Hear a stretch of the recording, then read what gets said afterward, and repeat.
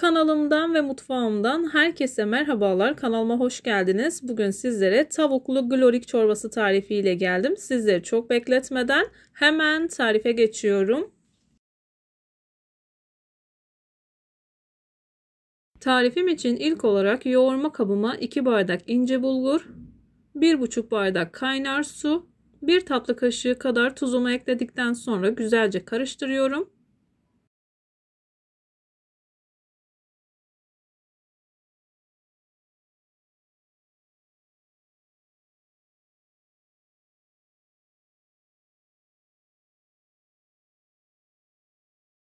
Üzerini streçle veya bir tabak yardımı ile kapatıyorum. Bu şekilde 15 dakika kadar dinlendiriyorum.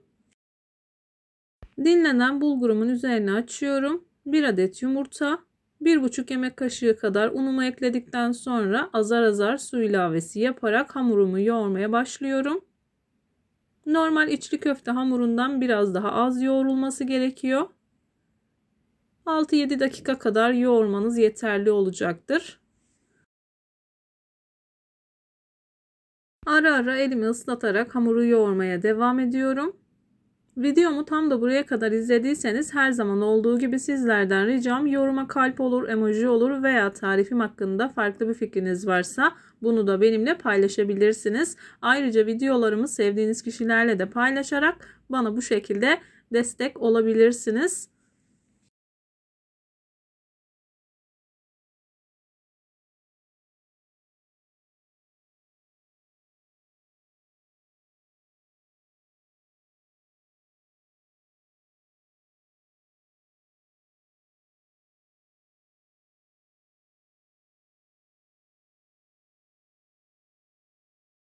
Glorik hamurunu güzelce yoğurduktan sonra fındık büyüklüğünde parçalar kopartıp elimle yuvarlıyorum. İsterseniz fellah köftesi hazırlar gibi de hazırlayabilirsiniz.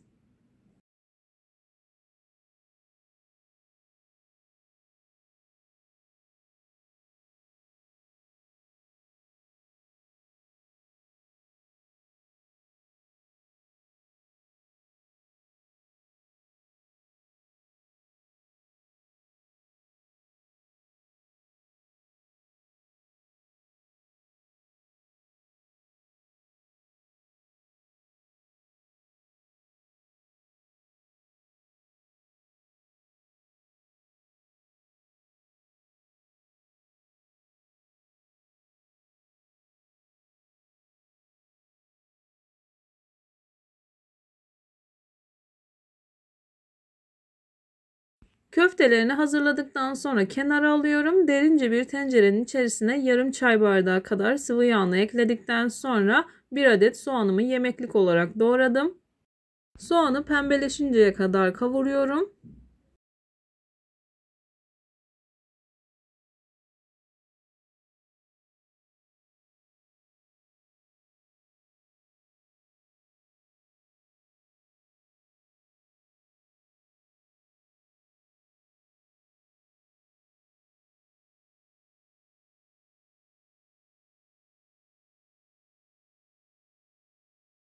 Soğanım kavrulmaya devam ederken bu arada bir adet tavuk göğsünün yarısını kuşbaşı olacak şekilde doğradım. Üzerine bir çay kaşığı kadar tuzumu ekledikten sonra kapağını kapatıyorum.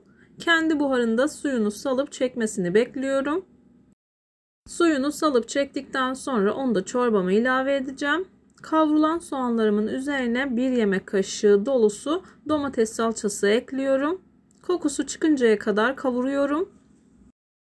Salça kavrulduktan sonra üzerine 1,5 litre kadar su ekliyorum. Suyun kaynar olmasına dikkat edin.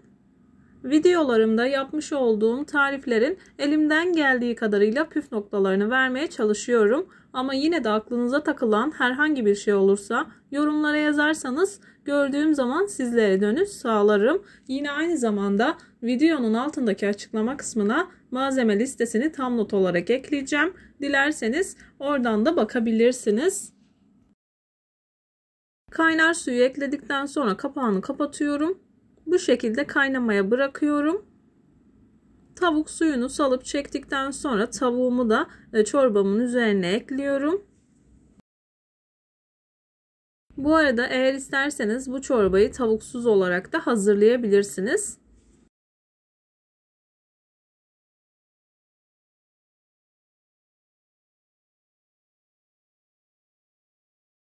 Tavuklarımı da ilave ediyorum.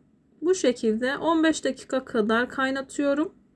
Tavuklarım yumuşadıktan sonra yuvarladığım köftelerimi de ekleyeceğim.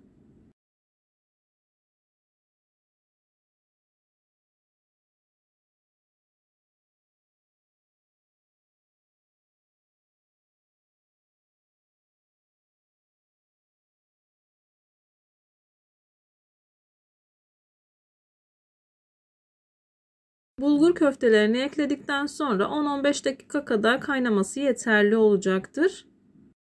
Bulgur köftelerimi yavaş yavaş ekliyorum. Suyun yoğunluğunu yine kendinize göre ayarlayabilirsiniz.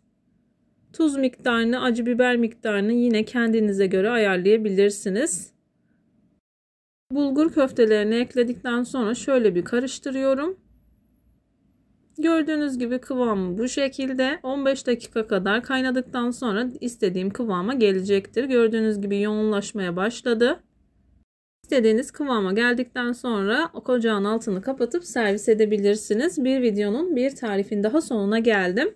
Videomu beğendiyseniz beğenmeyi, kanalıma hala abone değilseniz bu videodan sonra kanalıma abone olmayı, bildirim zilini açmayı lütfen unutmayın. Kendinize ve sevdiklerinize çok iyi bakın. Başka bir tarifte görüşmek üzere. Hoşça kalın. Allah'a emanet olun.